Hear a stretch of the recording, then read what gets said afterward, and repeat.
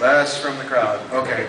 So I'd like to hear from, from Dublin, Ireland, what you believe your greatest perceived uh, challenge is and what you're doing to address it. Hello, let's make sure I've got this working again. So, we had a quick discussion about this when we heard the question asked and we told everyone was going to get it. And I think one Cheater. of the... Well, yes. we kind of... A lot of the comments we've gotten from people is that while the facility is fantastic, it does seem to be limited in size, especially when you consider some of the venues that other bids here have had this weekend. And we just got a mail from James Bacon, which basically answers how we feel, well, basically answers this particular question. So I'm just going to read this from James, if that's okay with everyone. Oh,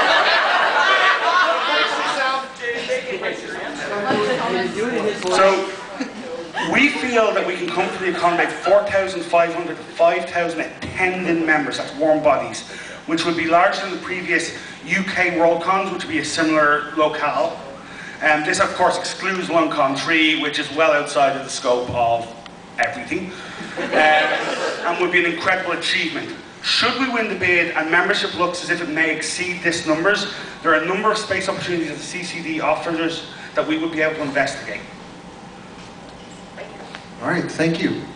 All right, Thank moving on.